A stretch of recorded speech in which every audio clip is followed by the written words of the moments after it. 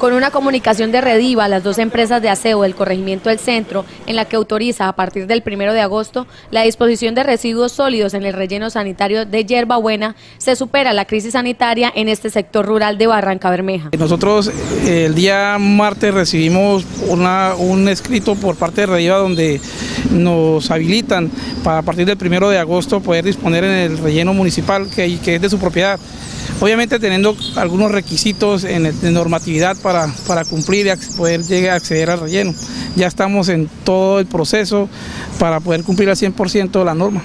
De acuerdo con este ejecutivo, su empresa no ha sido notificada del fallo de la tutela instaurada por ellos para hacer cumplir la norma que obliga a Rediva a recibirle los residuos sólidos. Tutela la colocamos el día viernes, eh, todavía no nos ha llegado el fallo, pero pero ya por lo menos tuvimos la respuesta positiva por parte de Rediva, que es lo que realmente a nosotros nos interesa en este momento.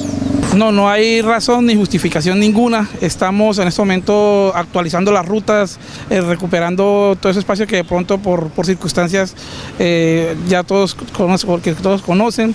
Nos vimos en la penosa obligación de parar dos, tres días para poder, eh, digamos, visibilizar la situación que nosotros estamos viviendo en el corregimiento del centro. Así las cosas, hasta este viernes las basuras del centro serán llevadas a Huachica Cesar, pero a partir del primero de agosto su destino será Patio Bonito.